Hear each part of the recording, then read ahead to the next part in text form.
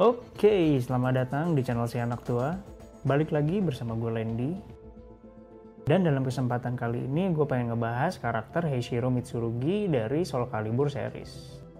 Yang tidak pernah absen pada setiap serinya setelah kehadirannya di Soul Edge pada tahun 1995. Oke, sebelum kita lanjutin videonya, gue mau ngingetin dulu buat kalian yang belum subscribe channel ini, buat klik tombol subscribe-nya sekarang. Juga nyalain lonceng notifikasinya, supaya kalian bakal dapat update terbaru dari channel ini. Lahir dari keluarga petani dan hidup dalam kondisi perang berkepanjangan, yang kerap merenggut hasil panen maupun benda berharga milik keluarganya.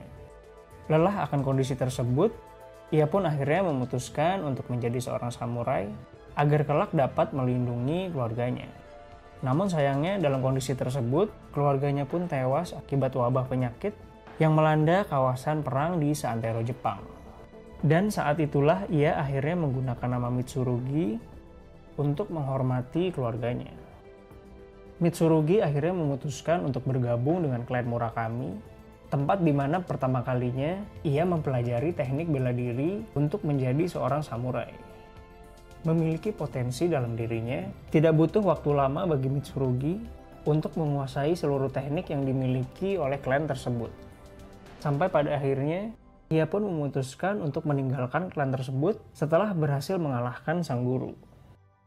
Petualangannya pun berlanjut saat ia memutuskan untuk berpartisipasi dalam perang tersebut untuk mencari lawan tangguh yang sepadan. Dengan kemampuan yang dimilikinya, ia pun berhasil mendapatkan predikat sebagai samurai tangguh yang kerap dapat mengalahkan lawannya dengan mudah. Namun hal tersebut pun berubah setelah senjata api yang mulai diperkenalkan pada perang tersebut, yang mampu merubah jalannya peperangan dengan mudah. Ia pun akhirnya memutuskan untuk mencari sebuah pedang legendaris bernama Soul Edge yang dipercaya dapat membalikan keadaan pada perang tersebut. Namun pencariannya pun berakhir gagal setelah ia tidak dapat menemukan keberadaan dari pedang tersebut. Dan Mitsurugi pun akhirnya menantang seorang ahli senapan untuk membuktikan bahwa dirinya tidak memerlukan kekuatan dari Soul Edge untuk mengalahkan pasukan bersenjata api. Meskipun akhirnya ia pun kalah dalam pertarungan tersebut. Setelah kekalahannya yang membuat ia kehilangan reputasinya sebagai samurai terkuat, ia pun memutuskan untuk meninggalkan Jepang demi menyempurnakan kemampuan berpedangnya, agar kelak dapat memenangkan pertarungan melawan pasukan bersenjata api.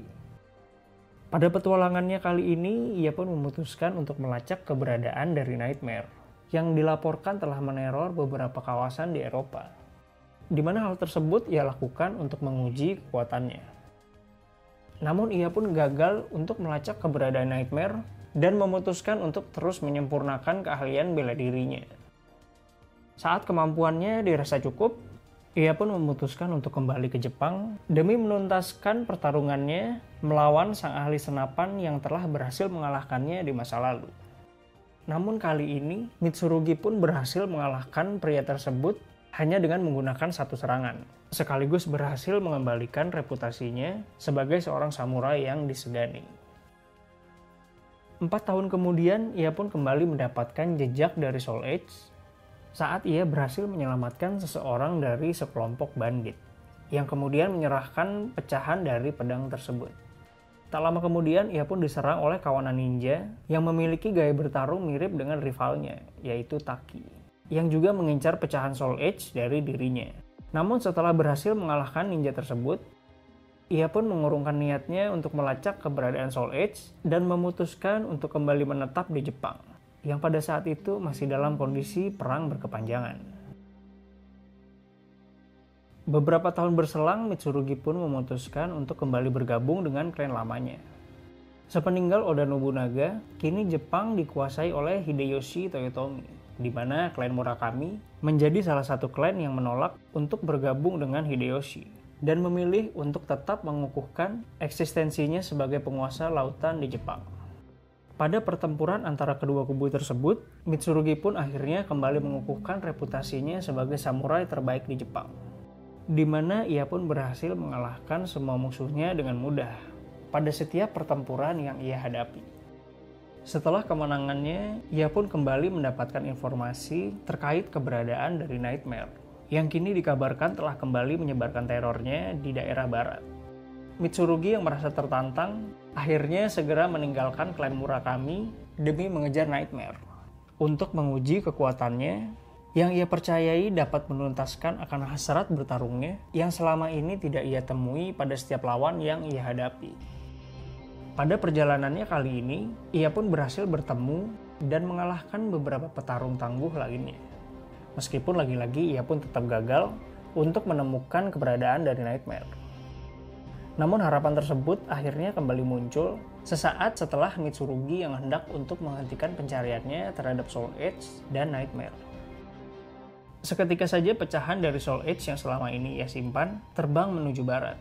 Yang ia percayai merupakan sebuah pertanda bahwa kali ini ia akan berhasil menemukan baik Nightmare maupun pedang legendaris Soul Edge.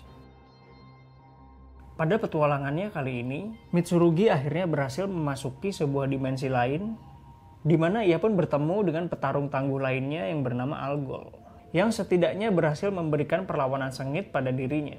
Setelah sekian lama gagal ia temukan pada setiap lawan yang ia hadapi. Namun di tengah pertarungan tersebut, Algol pun menghilang sebelum pemenang dari duel tersebut berhasil ditentukan. Dan setelah insiden tersebut, ia pun akhirnya memutuskan untuk kembali ke Jepang setelah ia mendengar bahwa konflik besar yang akan segera terjadi untuk menentukan penguasa Jepang selanjutnya.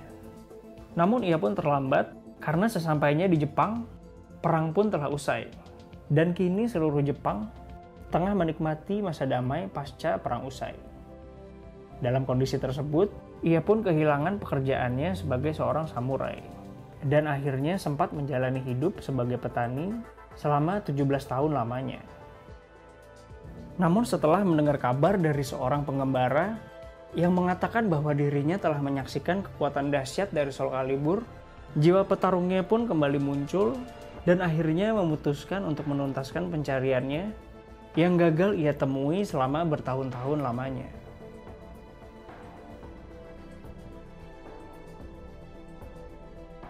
Oke, sebelum kita mengakhiri videonya, kita bakal masuk dulu ke sesi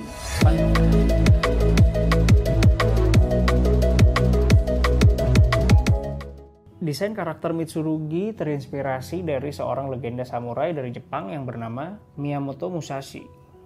Yang hidup di awal era Edo, yang terkenal akan filosofinya dalam ilmu seni berpedang. Sekaligus rekor tak terkalahkannya dalam setiap duel yang ia hadapi serta cerita akan latar belakang dari karakter tersebut yang diambil berdasarkan Toshiro Mifune dari film Seven Samurai karya Akira Kurosawa, di mana sang aktor pun sempat memerankan karakter Miyamoto Musashi di beberapa kesempatan. Desain wajah dari Mitsurugi awalnya diambil berdasarkan karakter game Namco lainnya, yaitu Kazuya Mishima. Tak hanya itu, Baik Mitsurugi maupun Yoshimitsu sama-sama memiliki beberapa gerakan yang serupa yang akhirnya dibawa pada beberapa seri gamenya.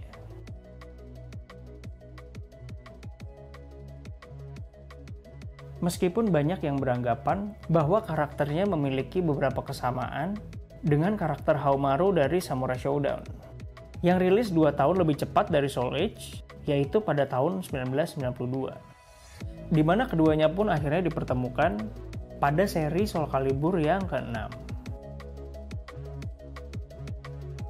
Meskipun hadir pada setiap serinya, namun sosoknya sempat digantikan oleh karakter lain yang bernama Arthur setelah masalah akan citra samurai yang sempat dipermasalahkan di beberapa negara.